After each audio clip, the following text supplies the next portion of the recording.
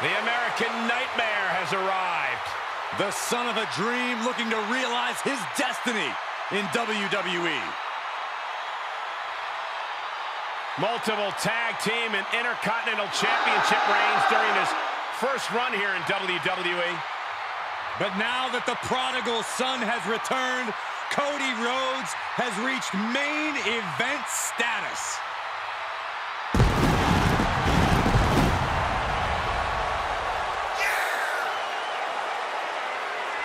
The following contest is scheduled for one fall, making his way to the ring from Atlanta, Georgia, weighing in at 220 pounds, the American Nightmare, Cody Rhodes! Gentlemen, WrestleMania has just become undeniable. After six years away from WWE, made a show-stealing return and defeated Seth freaking Rollins.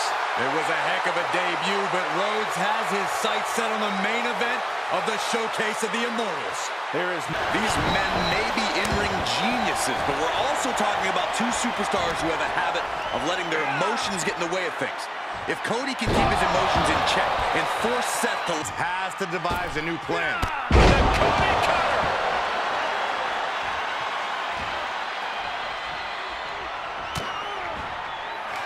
is about to head to the pay window.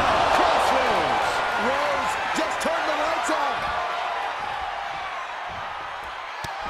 Cody Rhodes hooks him up. Cross Rhodes. Is there any fight left in Rollins?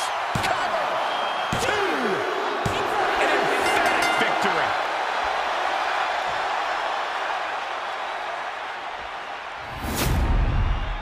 Here is your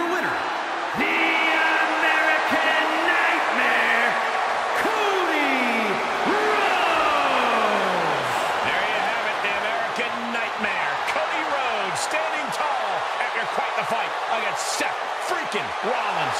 Tonight...